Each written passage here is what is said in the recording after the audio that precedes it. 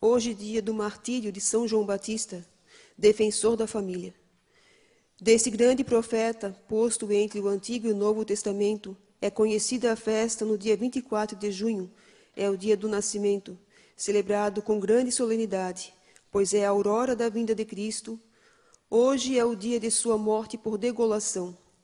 João Batista é o protótipo do profeta, o homem possuído totalmente da, pela missão de pregar a palavra, de anunciar aos homens a vontade divina. Nada pode demovê-lo desta missão, nada pode intimidá-lo. O próprio Cristo apresentou sua figura como símbolo vivo da face ascética da religião. Certo dia chegaram os mensageiros de João Batista, propondo a Jesus uma dúvida sobre o Messias. Tendo eles partido, começou Jesus a falar de João. Que fosses ver no deserto? Um caniço agitado pelo vento? Mas que fosses ver? um homem vestido de roupas delicadas? Mas os que vestem roupas delicadas encontram-se nos palácios dos reis. Mas que foste ver? Um profeta? Sim, eu vos digo, é mais do que um profeta. Na verdade vos digo, dentre os nascidos de mulher, nenhum foi maior que João Batista. Mateus 11, do 7 a 11. A missão de João Batista foi a de precursor do Messias. Ele deu testemunho de Cristo pelas altas virtudes, pelas rigorosas penitências, pela palavra vigorosa em denunciar os vícios, as injustiças, animando a sociedade judaica a converter-se a Deus na sinceridade do coração. À frente do governo da Galiléia estava Herodes, filho daquele Herodes chamado Grande, criminoso e déspota, que viveu ao tempo do nascimento de Cristo. Herodes vivia escandalosamente, tendo raptado Herodíades, esposa de seu irmão Filipe. Essa união ilícita era motivo de grave escândalo no meio judaico. Não havia quem se sentisse com coragem de censurar o monarca. João Batista não podia, como profeta, ficar omisso e declarou publicamente e com toda franqueza: Não te é lícito viver com a mulher de teu irmão.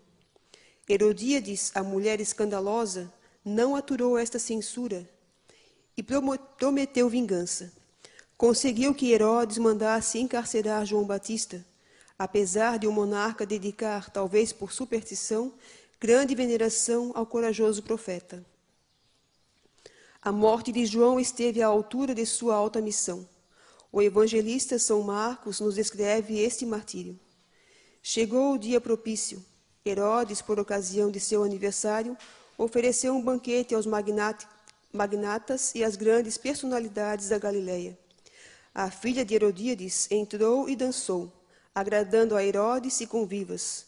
Então o rei disse à moça: Pede-me o que bem quiseres e te darei, mesmo que seja metade do meu reino.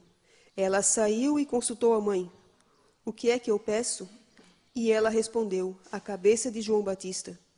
Voltando logo à presença do rei, fez o pedido: Quero agora mesmo, me dê num prato a cabeça de João Batista.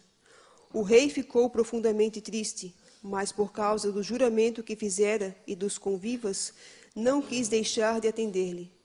E imediatamente mandou um executor com ordens de trazer a cabeça de João.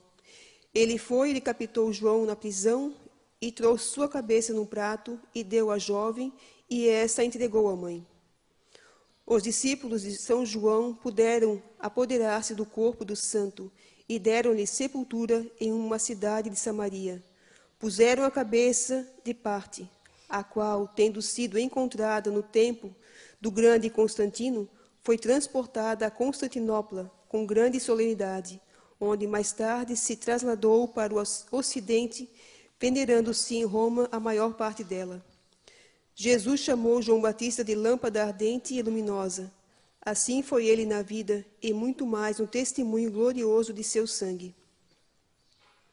Ó Deus, quisesse que São João Batista fosse o precursor do nascimento e da morte do vosso filho.